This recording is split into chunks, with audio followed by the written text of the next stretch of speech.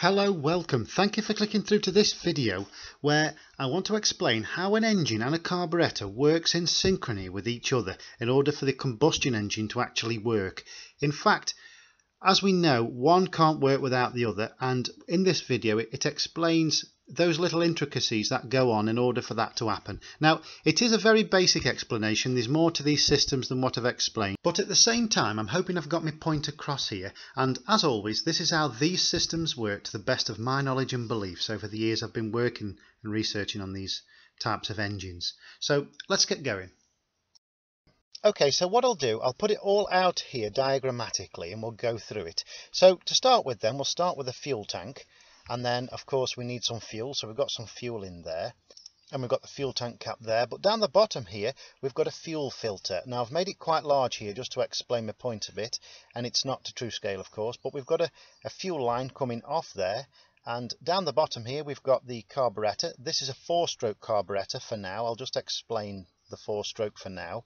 And then we've got an engine attached to the carburettor and down here we've got the inlet manifold that allows all the fuel and air to come out of the carburettor into the engine. And it wouldn't normally be this shape. This is more like a cone shape.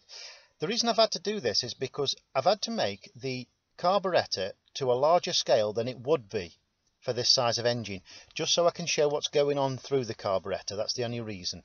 So these two here are not to scale. And so now let's take a look down here and this is characteristic of the usual four-stroke carburettor. We've got the float here and that float just moves up and down like this.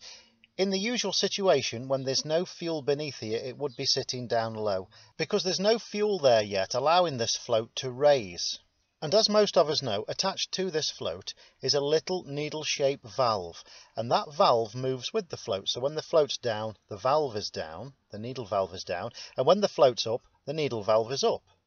And so for now, I'll just explain that when the needle valve is up like this, then no fuel can come down here towards the float into the float's chamber.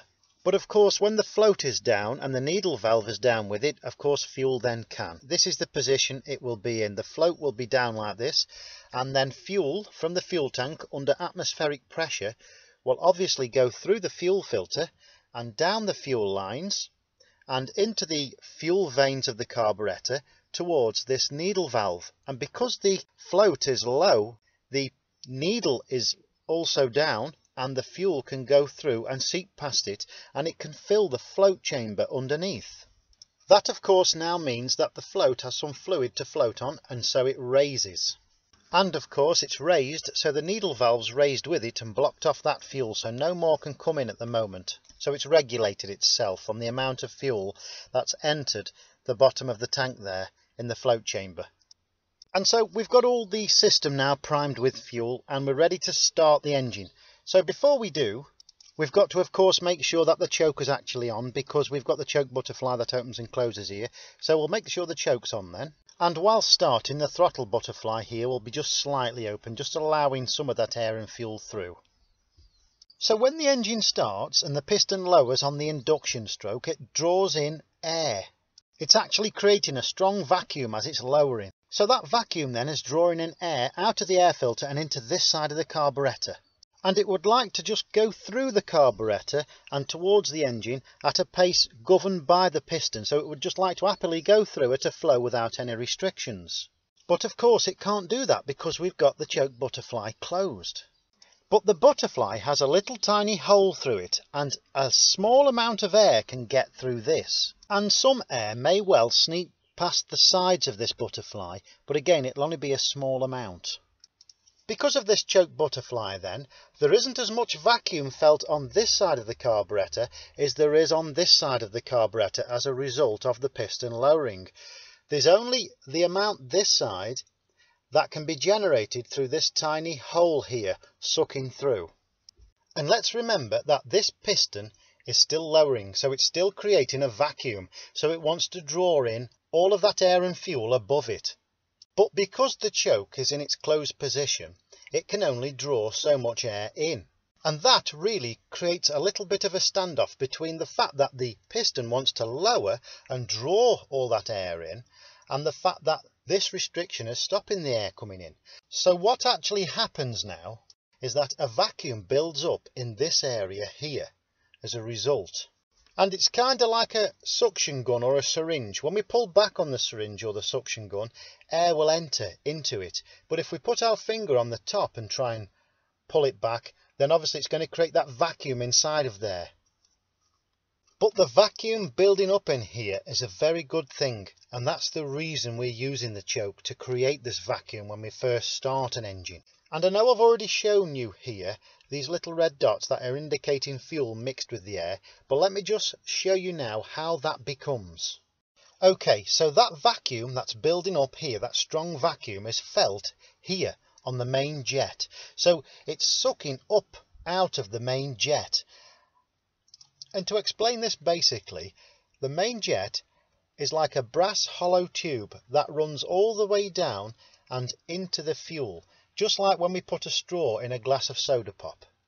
And so, just like having a drink through a straw then, that vacuum build up there in the induction area there is pulling up on that fuel beneath it. So it draws it all up, it sucks it out up to the top of the main jet and then draws it out into the induction tube there. And so the result of this high level of vacuum pulling out of the main jet there is that we've now got a higher ratio of fuel compared to air going into the carburetor there and into the engine.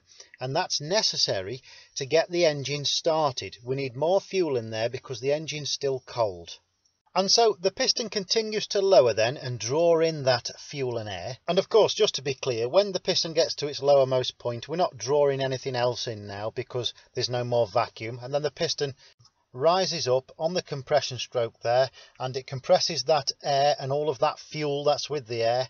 And then we've got the spark that takes place combustion takes place. The piston lowers again with all that exhaust gases inside now inside the cylinder. And we've got some fresh air that meets the exhaust gases. Then the piston again comes back up and pushes out that exhaust gas with that air and so the engine will run like this with the choke on for several cycles of the piston, of course, until the engine's warmed up enough that we can actually turn the choke off. So that depends on the type of engine we've got, but there will be several cycles like this and then we can turn off the choke. And in carburettor terms, turning off the choke means opening the choke butterfly. And so when the engine's warmed up slightly and the system is actually running well, so there's no problems there. But just to be clear and using it is a comparison for choking issues shortly. If we were to leave the choke butterfly on for longer than it needs to be because as I've said now the engine's that little bit warmer then of course the engine will run lumpy and sometimes smoke excessively. And the reason for that is because we've got too much fuel in there. And it always was too much fuel even from the beginning even when it was just started from cold start. But the thing is with the choke it gets that amount of fuel in there, a larger amount, just to initially get it started and initiate those first few cycles of the piston. Showing the induction stroke again, there's so much excess fuel in fact that it starts to lie on top of the piston and line the cylinder walls. And when the piston rises again, it's more likely to look something more like this. Of course, this is just a diagrammatic model here. It's not exact to scale the amount of fuel in there, but there will be a lot in there on the compression stroke. And because there's a lot in there, not all of it will be combusted. So there'll be some incomplete combustion there. And so there will still be some fuel hanging round in that cylinder, regardless of the fact that the spark plug has just fired on this power stroke. And as a result of this incomplete combustion then, the exhaust fumes that are left in the wake of the power stroke have unburnt fuel within it. And so as the piston rises now on this exhaust stroke, it doesn't only push out the exhaust gases through the exhaust port there, it also pushes out fuel that's been unused. And anyone who's actually run an engine with the choke on for too long will actually know that this smell of fuel does come out of the exhaust, they've probably experienced it, and that the lumpy running and the excess smoke in some cases is all down to this excess fuel. And what I'm trying to say here is when these systems are running correctly and there's no issues, so there's nothing broken down on the machines, the choke produces this kind of running almost instantly, even when the engine's cold and we're first starting it. In general, that is, of course, but of course there's always exceptions to everything.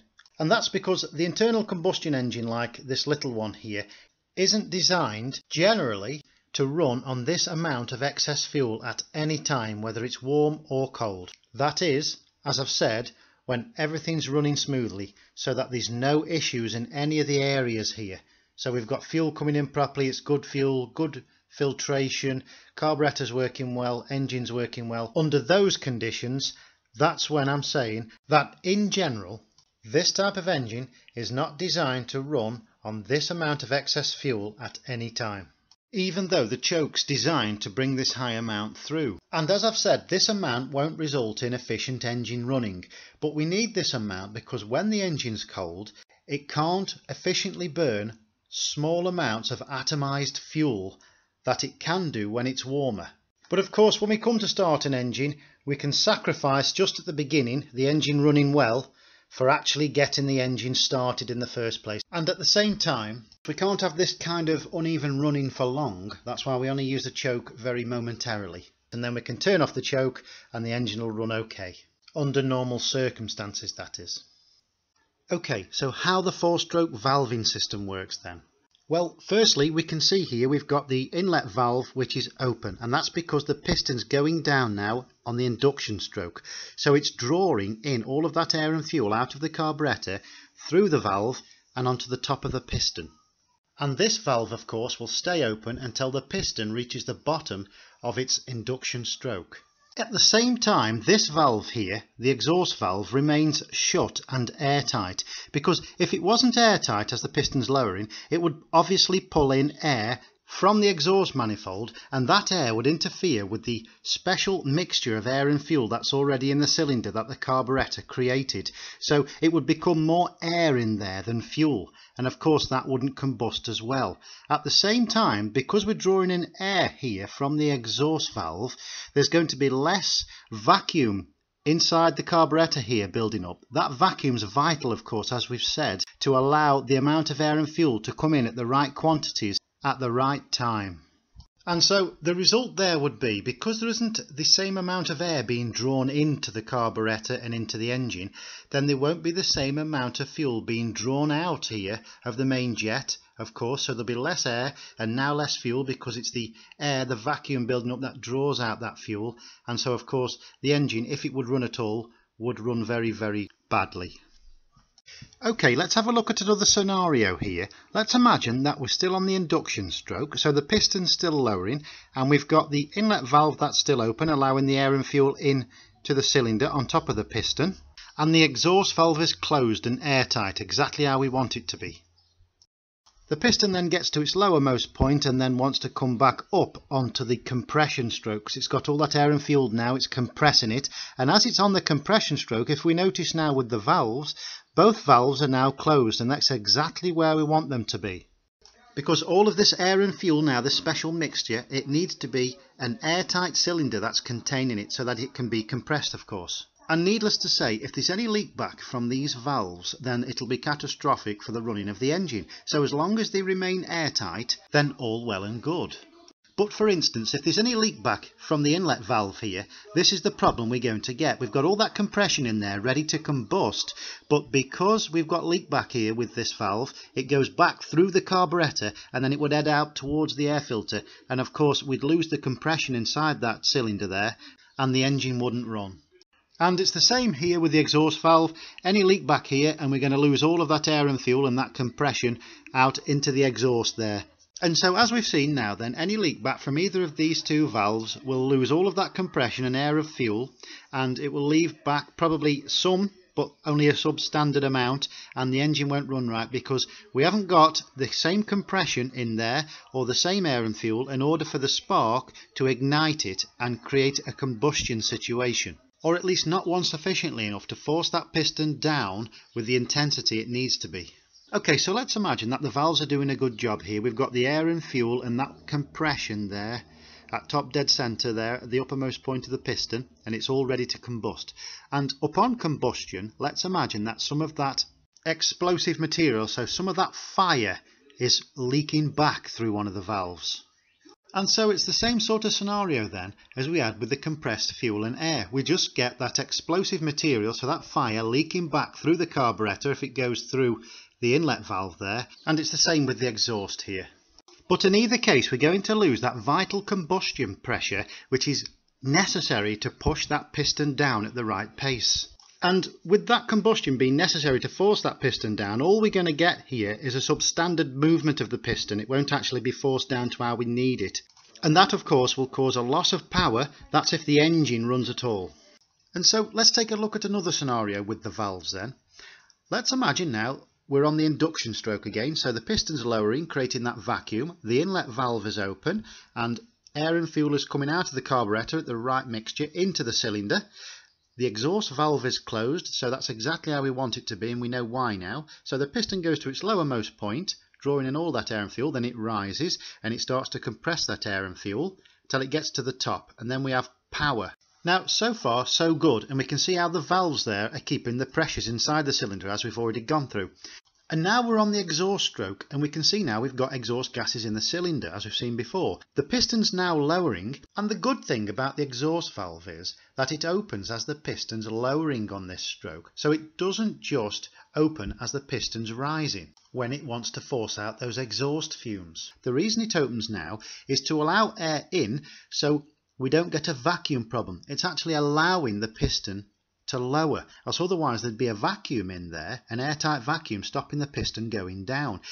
And so this serves two main functions really then. We've just mentioned the first one, allowing the piston to lower, and secondly, as the piston lowers, it brings in some fresh air which mixes with all that exhaust gas, helping to dilute it ready to be pushed out. And the fact that the exhaust valve's open and the inlet valve here is closed is fantastic because inside the cylinder here we only want exhaust fumes and air.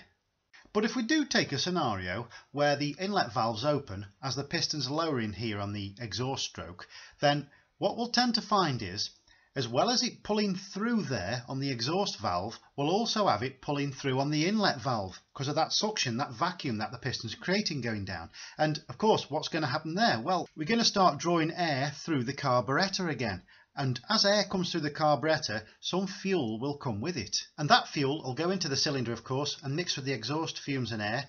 And then all that's going to happen then is the piston then will come back up on the exhaust stroke and push out all of that unused fuel. And at the same time, because this inlet valve's leaking, it'll most probably leak when the piston comes back up as well. So it'll also force all of that fumes out of this way through the carburetor. So now, going through the carburetor this side, we've got the exhaust fumes, the air and the fuel and that's just going to mess up everything inside the carburetor, get the carburetor dirty and as I've said it's going to cause problems. But to be honest, if there's any major problems with these valves then the engine won't run right anyway, if at all, as you can see. But at least I've explained now how important that these valves are in running the engine and how sometimes these can be overlooked as a cause of a problem. Generally, we go straight for the carburetor if things aren't running too right, and we forget about the valves.